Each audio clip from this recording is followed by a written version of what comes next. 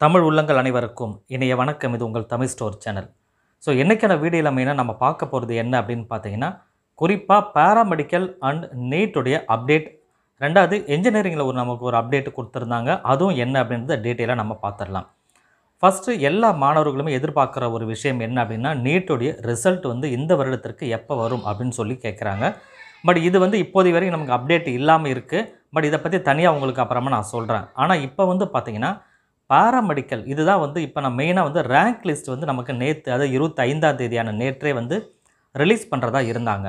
So rank list வெளியே வந்திருந்தா உடனே உடனே அடுத்த அடுத்த ஆப்ஷனுக்கு நம்ம போயிருப்பாங்க.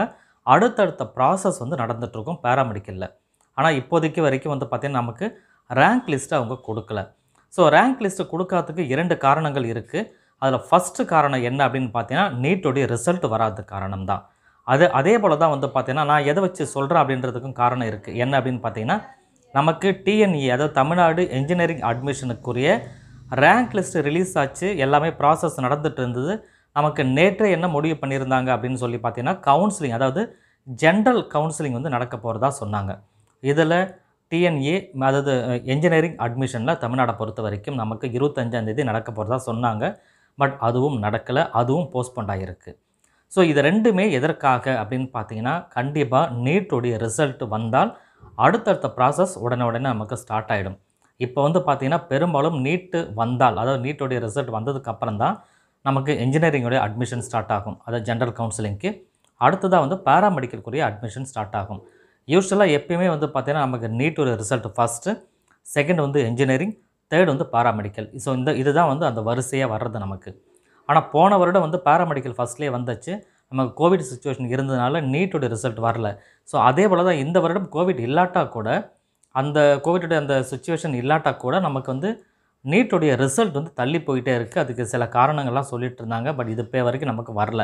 ஸோ என்டிஏ வந்து விரைவில் அதை பற்றி அனௌன்ஸ் பண்ணுவாங்க. அதை நம்ம பிறகு பார்க்கலாம். இப்போ வந்து பேராமெடிக்கலும் வந்து நமக்கு தள்ளி போகுது.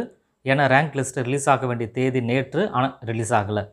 டிஎன்ஏடைய ஜென்ரல் கவுன்சிலிங் நமக்கு வந்து பார்த்திங்கன்னா இருபத்தஞ்சாந்தேதி நேற்றே ஸ்டார்ட் பண்ணுறாங்க அப்படின்னு ஒரு பிளான் இருந்தது. பட் அதுவும் ஸ்டார்ட் ஆகலை அதுவும் போஸ்ட்பண்ட் ஆகிருக்கு ஸோ இது ரெண்டுமே நான் ஏற்கனவே சொன்ன மாதிரி நீட்டோடைய ரிசல்ட்டுக்காக ஸோ எதனால் நீட்டு ரிசல்ட்டை மட்டும் அவங்க வெயிட் பண்ணுறாங்க எதற்காக வெயிட் பண்ணுறாங்க அப்படின்னு பார்த்தீங்கன்னா ஃபஸ்ட்டு வந்து நீட் நடந்தால் மட்டும்தான் நீட்டில் வந்து கிட்டத்தட்ட இந்தியா முழுக்க பதினஞ்சு பதினாறு லட்சம் பேருக்கு மேலே எழுதியிருக்காங்க. அதில் தமிழ்நாட்டை சேர்ந்த மாணவர்கள் வந்து தமிழ்நாட்டில் சென்டர் வச்சு அங்கே எழுதியிருக்காங்க. இவ்வளோ பேரும் நீட் எக்ஸாம் எழுதி முடிச்சுட்டு அதில் வந்து ரிசல்ட் அவங்களுக்கு வந்து நமக்கு வந்து பாசிட்டிவாக இல்லை ஒரு நம்ம எதிர்பார்த்த லெவல் வரலன்னா அடுத்த ஆப்ஷன் அவங்களுக்கு வேணும் கண்டிப்பாக ஏன்னா அதிக மாணவர்கள் பங்கேற்ற அதாவது பார்ட்டிசிபேட் பண்ணுற ஒரு எக்ஸாம் காம்படிட்டிவ் எக்ஸாம்னா அது வந்து நீட்டோட எக்ஸாம் தான். ஸோ அதற்குரிய ரிசல்ட் வந்ததுன்னு சொன்னால் நம்ம எம்பிபிஎஸ் படிக்கிறோமா பிடிஎஸ் படிக்கிறோமா அப்படின்றத அவங்க முடிவு பண்ணுவாங்க. இன்கேஸ் அதை படிக்க முடியாத பட்சத்தில் அடுத்த ஆப்ஷன் வந்து ஒன்று என்ஜினியரிங் அதுக்கப்புறம் வந்து நமக்கு பேராமெடிக்கல் இந்த என்ஜினியரிங் பேராமெடிக்கலை நீட்டுக்கு முன்னாடியே நடத்தி முடிச்சிட்டா மாணவர்களுக்கு இருக்கிற ஒரே ஒரு வாய்ப்பு நீட்டு மட்டும்தான். ஸோ அப்படி நீட்டு மட்டும் இருந்ததுன்னு சொன்னால் நீட்டில் அவங்க ப அவங்க வந்து குவாலிஃபை ஆகலைன்னு சொன்னால் ஒரு வருஷம் வந்து அவங்களுக்கு கண்டிப்பாக வேஸ்ட் ஆகிடும் ஸோ இதெல்லாம் மைண்டில் வச்சு தான் வந்து பார்த்தீங்கன்னா நமக்கு இன்றைக்கி வந்து பேராமெடிக்கலும் சரி இன்ஜினியரிங் சரி ரெண்டுமே வெயிட்டிங்கில் கொடுத்துருக்காங்க. பேராமெடிக்கல் ரேங்க் லிஸ்ட் ரிலீஸ் பண்ணலை. இன்ஜினியரிங் ரேங்க் லிஸ்ட் ரிலீஸ் பண்ணிவிட்டு ஜென்ரல் கவுன்சிலிங் நடைபெறலை. ஸோ இது மட்டும்தான் காரணங்கள். சரி இதெல்லாம் வந்து ஒரு பக்கம் இருக்குது இது வந்து ஒரு அப்டேட்காக உங்களுக்கு நான் சொன்னது. ஸோ இன்னொரு விஷயம் இன்றைக்கி நான் சொல்ல போகிற விஷயம் இன்னொன்று என்ன அப்படின்னு பார்த்தீங்கன்னா நமக்கு பேராமெடிக்கலில் round one round two round three round four அப்படின்னு நான்கு ரவுண்டாக நமக்கு வந்து பொதுவாகவே கவுன்சிலிங் நடக்கும். போன வருஷமும் வந்து பார்த்தீங்கன்னா நாலு ரவுண்டு தான் கவுன்சிலிங் நடந்தது.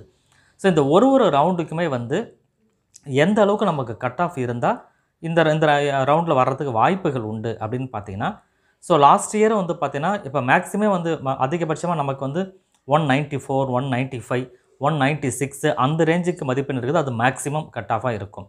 மினிமம் கட் ஆஃப் ஃபஸ்ட்டு ரவுண்டில் பொறுத்த வரைக்கும் வந்து பார்த்தீங்கன்னா one seventy five one seventy four அந்த ரேஞ்சுக்கு கண்டிப்பாக இருந்தீங்கன்னா இந்த ரேஞ்சுக்குள்ளே இருக்கிறவங்களுக்கு கண்டிப்பாக வந்து நமக்கு ஃபஸ்ட்டு ரவுண்டில் கண்டிப்பாக வரும்.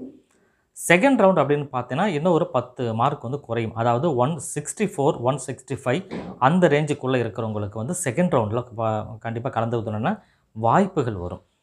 எனக்கு தெரிஞ்சு இந்த ரெண்டு ரவுண்ட்லேயுமே மேக்ஸிமம் நம்பர் ஆஃப் சீட் வந்து ஃபில் ஆகிடும் அதனால் ஞாபகம் வச்சுங்க இந்த ரெண்டு ரவுண்டுலையுமே மேக்ஸிமம் நம்பர் ஆஃப் சீட் வந்து ஃபில் ஆகிடும் அதில் ரிமைனிங் இருக்கிற கொஞ்சம் கொஞ்சம் சீட்டு வேறு வேறு கோர்சஸில் இருக்கும் இல்லையா? அதற்கு தான் தேர்டு ரவுண்ட் ஃபோர்த் ரவுண்ட் அப்படின்னு சொல்லி வரும்.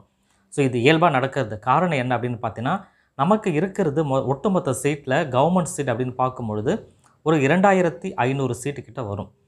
ப்ரைவேட் காலேஜில் வந்து பார்த்தீங்கன்னா ஒரு பதினஞ்சாயிரம் சீட்டு கிட்ட வருது. அப்போ private college seat number of seat அதிகம் பதினஞ்சாயிரம் சொன்னால் அங்கே இருக்கிற course pharmacy BSc max sorry BSc nursing அதே போல் வந்து பிபிடி அண்ட் பிஓடி இந்த நாலு கோர்ஸ் மட்டும்தான் நமக்கு ப்ரைவேட்டில் வந்து அவைலபிள் இருக்குது கவர்மெண்ட் சீட்டில் பதினேழு வகையான கோர்ஸ் இருக்குது உங்களுக்கு எல்லாமே இருக்கும். ஆனால் கவர்மெண்ட்டுக்கு இரண்டாயிரத்தி ஐநூறு சீட்டு மட்டும்தான் இருக்குது அவைலபிள் அதே போல் ப்ரைவேட் காலேஜில் பதினஞ்சாயிரம் சீட்டு ஆனால் நாலு கோர்ஸ் மட்டும் தான் படிக்க முடியும். ஸோ இதனால தான் வந்து பார்த்திங்கன்னா உங்களுக்கு ஸோ இதை பொறுத்து பார்க்கணும். ஒன்று ரெண்டாவது சீட் வந்து இந்த அளவுக்கு இருக்குது பட் ஓவராலாக அப்ளிகேஷன் அப்படின்னு பார்க்கும்போது இந்த வருடம் நமக்கு கிட்டத்தட்ட ஒரு அறுபத்தைந்தாயிரம் சீட்டு கிட்ட வந்திருக்கு. அறுபத்தை அறுபத்தைந்தாயிரம் சீட்டு கிடையாது சாரி அறுபத்தைந்தாயிரம் அப்ளிகேஷன்ஸ் வந்து வந்திருக்கு. இந்த அறுபத்தஞ்சாயிரம் அப்ளிகேஷனுக்கும் வந்து பார்த்தீங்கன்னா சீட் இருக்கான்னா கண்டிப்பாக இல்லை. கவர்மெண்ட் சீட்டுனா இரண்டாயிரத்தி ஐநூறு பேர் தான் அதில் போய் கலந்துக்க முடியும். அவ்வளோதான் சீட் இருக்குது அப்படின்னு பார்த்தீங்கன்னா. ஸோ அப்போ இதெல்லாம் வச்சு பார்க்கும்போது கட் ஆஃபோட இம்பாக்ட்டும் இதில் வந்து கொஞ்சம் மாறுறது உண்டான வாய்ப்புகள் உண்டு. என்னை பொறுத்த வரைக்கும் அதிகபட்சமாக உங்களுக்கு வந்து ஒரு நூற்றி தொண்ணூத்தைந்து நூற்றி தொண்ணூற்றி ஆறு அந்த ரேஞ்சில் இருந்து ஃபஸ்ட்டு ரவுண்டுக்கு நீங்கள் வந்து நூற்றி எழுபத்தி ஐந்து அந்த ரேஞ்சுக்குள்ளே இருக்கிறீங்கன்னா மேக்ஸிமம் ஃபஸ்ட்டு ஃபஸ்ட்டு ரவுண்ட்லேயே வந்து உங்களுக்கு வருவதுனா வாய்ப்புகள் உண்டு. நல்லா ஞாபகம் வச்சுக்கோங்க. நீங்கள் இரண்டு ரவுண்டுக்கு மேலே உங்களுக்கு சீட்டு மிக மிக குறைவாக இருக்கும் பாராமெடிக்கலை பொறுத்த வரைக்கும். சரிங்களா? ஸோ இதை பார்த்துட்டு அடுத்த அடுத்த ரவுண்டில் கலந்துக்கலாமா இல்லையா? வேறு எதாவது படிக்கலாமன்றதை நீங்கள் வந்து முடிவு பண்ணலாம். ஸோ எக்ஸாக்டாக நமக்கு ரேங்க் லிஸ்ட் ரிலீஸ் பண்ணதுக்கப்புறம் கட் ஆஃப் ப்ரிடிக்ஷனை திருப்பி நான் உங்களுக்கு சொல்கிறேன் பேராமெடிக்கலில் அது மேக்ஸிமம் ஒரு 90% பர்சன்ட் கரெக்டாகவே இருக்க வாய்ப்பு இருக்குது வீடியோ எல்லாருக்கும் ஷேர் பண்ணிக்கோங்க. இந்த அப்டேட்டை எல்லோரும் தெரிஞ்சுக்கிட்டோம். தேங்க்யூ ஃபார் வாட்சிங்